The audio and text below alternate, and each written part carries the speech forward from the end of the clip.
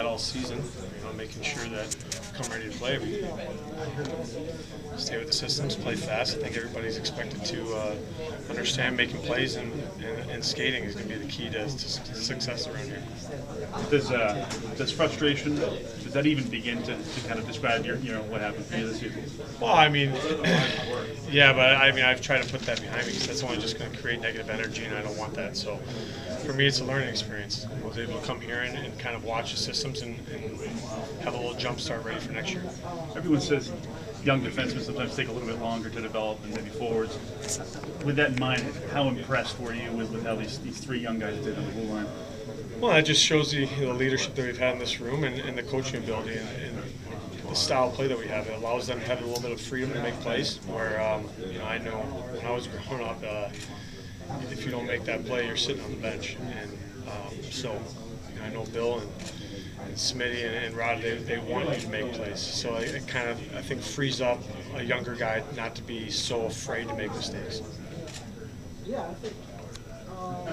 Will you start next season feel like you have something to prove? Um, I think more excitement is along the lines of uh, you know starting next year, coming to a team that we're pretty close to getting a playoff berth, but yet so far away. Um, five games is a lot. Five winning games is a lot. People don't realize that. So um, we have a uphill battle next year as well. You know, this league is only getting better and better.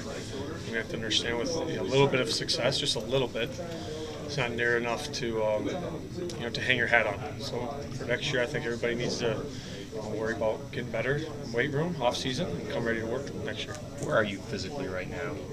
I feel great, honestly. Um, according to you know Doc, that Dr. Marty Isabella did my, my surgery, and he would have gave me the okay a couple weeks ago to play.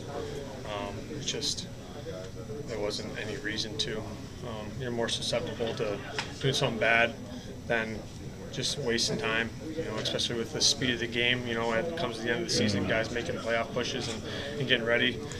Might as well just get ready, get ready for next year, get better in the weight room, and, and worry about coming in September. So you're in a position to do your normal summer or Yes. Yeah, okay. Yeah, um, yeah, I have no uh, limitations of, of what I'm doing in the off-season program right now. How involved were you with the team off ice? Were you able to contribute and give tips to the young defensemen? But yeah, I mean, uh, whenever they had questions, I, I would like to come in to answer them.